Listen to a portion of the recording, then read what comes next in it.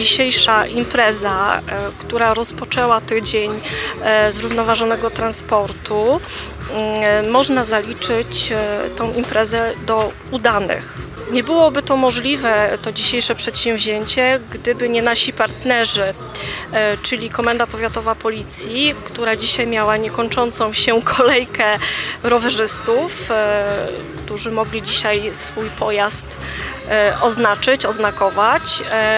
W ramach imprezy można było dzisiaj e, kodować e, z młodymi e, informatykami, którzy należą do pogotowia informatycznego. Uczyli właśnie sztuki kodowania, między innymi z robotami Foton. E, Można było dzisiaj też e, wziąć udział w ekopikniku z Nadleśnictwem Bolewice. E, Był przygotowany miejski bieg z przeszkodami, który przyciągnął całą rzeszę rodzin. Również też w ramach dzisiejszej imprezy zostali nagrodzeni uczestnicy naszych konkursów, które trwały przez całe dwa miesiące dzisiaj jakby miało miejsce uroczyste też wręczenie dyplomów. Dziękujemy bardzo pani e, Marice Piechowiak za zorganizowanie Zumby dla dzieci, która naprawdę dzisiaj dała nam mnóstwo energii, myślę na, na, na cały weekend zbliżający się. Oczywiście znakowanie rowerów, e, tak, to, to tutaj też cieszyło się jakby największym zainteresowaniem e, wśród mieszkańców Nowego Tomyśla. It's Friday then.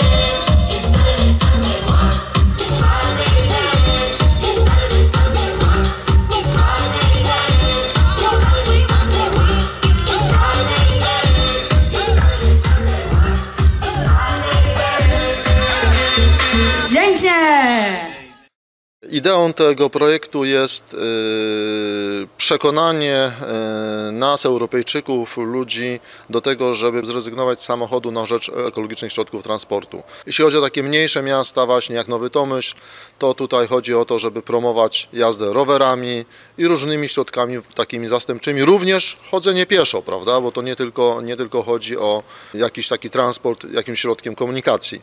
Promocja budowy ścieżek rowerowych, właśnie ścieżek pieszych, bezpiecznych przejść przez drogę, czyli te wszystkie takie działania, które mają pomóc y, niezmotoryzowanym na bezpieczne poruszanie się po miastach i między miastami.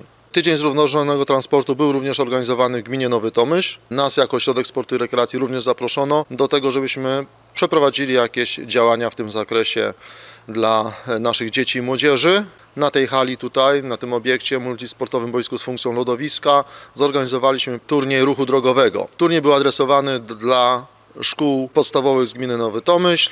Każda szkoła wystawiała trzyosobowy zespół i dzieci rywalizowały na torze przeszkód.